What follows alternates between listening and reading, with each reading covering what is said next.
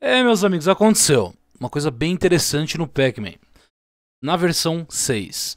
Na versão 6 foi incluso um método bem interessante que é o download em paralelo. E o que, que significa isso? Quando você faz é, o download de um pacote, né, você vai instalar um pacote que não esteja no cache, ou você vai atualizar seu sistema, você nota que ele faz é, uma coisa por uma coisa por vez. Ele baixa um pacote, depois vai pro próximo e assim por diante, tá? Deixa, vamos até dar uma olhada aqui, ó. Pacman-S LFPad. Aqui é um pacote mais menor, vamos botar um Caden Live aqui, tá? Ó, ele tem um monte de coisa aqui para baixar. Quando ele dá um enter, ó, ele vai baixar um pacote por vez, tá vendo, ó? Isso aqui demora, demora pra caralho, né? Demora muito. Então, é, o download paralelo facilita isso. A gente pode especificar o número total de downloads que ele pode baixar por vez. E ao invés de baixar uma coisa por coisa, ele vai deixar em paralelo. Tudo isso aqui ele vai começar a baixar numa paulada só.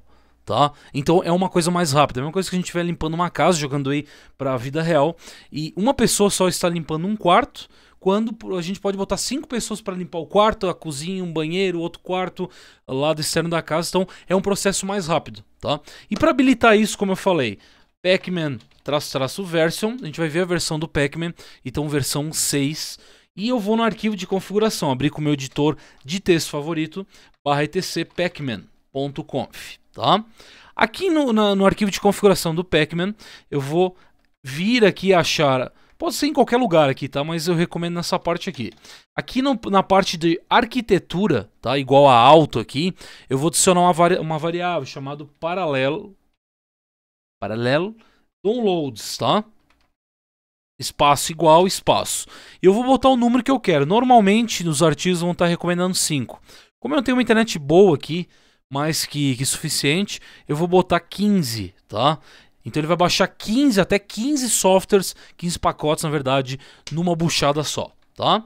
Eu vou dar um pacman aqui menos só para atualizar o repositório bonitinho, ver se está tudo certo. E ele tem aqui a atualização tudo certo. Então agora eu vou dar um pacman é, menos S e vou instalar um, um software, o Caden Live, eu vou instalar o Leftpad e o Mousepad, tá? Então eu vou instalar três softwares de uma vez. Enter. Então eu tenho isso aqui, ele vai começar pelo, obviamente pelo Caden Live e vou dar um sim. Olha só agora o download paralelo que legal. Olha lá, ó. ele já começou a baixar tudo numa bucha bem mais rápido, né? Então tá vendo, ó? E ele tá indo. É como se estivesse baixando um torrent aí, né? A gente tem 10 torrents baixando.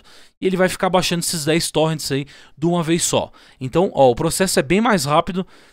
Bem mais rápido. Então, como eu falei, vai dependendo da sua internet também, tá? Então, é muito simples. Foi lá no arquivo de configuração barra tc barra pacman.conf e adicionou essa variável aqui. Paralelo downloads com S, tá? Se você botar sem S aqui, se botar download, ele vai dar um erro. Então, downloads. E aí você bota a quantia que você quer. Pode ser 15 ou 10 ou 5 ou 3. Aí você que escolhe, tá? O padrão é 5, que normalmente o pessoal indica. Eu boto 15 porque eu tenho uma internet boa e tá tudo certo. Fechou? Então isso vai depender muito da sua internet. E galera, eu quero lembrar para vocês mais uma vez, não esqueça dos meus cursos slackjeff.com.br para aprender mais sobre Linux. É... Aqui também, ó, vocês vão ter a parte de bootcamp, tá? No bootcamp, dá uma, uma entrada aqui, ó, que é um, um intensivão de Linux, uma aulas online duas semanas para você aprender Linux na raça. Dá uma, uma lida aqui que você vai gostar bastante, tá? Vou tá bem acessível e vai ficar tudo gravado para vocês assistir depois quando quiser. Vai ter uma série de desafios, vai ter laboratório para vocês conectar via SSH e para trabalhar. Fechou, galera? Um abração para vocês até o próximo vídeo. Fui. É.